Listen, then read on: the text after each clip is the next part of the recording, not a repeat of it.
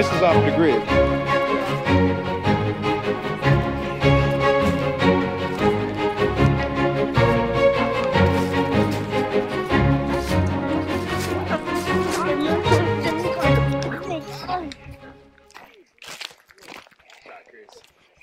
You shot him? Yeah, I said. Why didn't you shoot him? he holding his heart, still walking.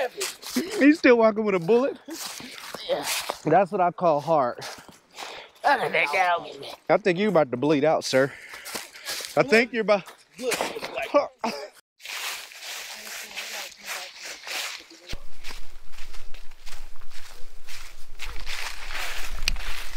May your struggles keep you near the cross. Good job, man. Big boy. What did you get? That's just what I do. So I was, I was talking with mom. Uh-huh. Like, watch your ankles. You don't need any sprains.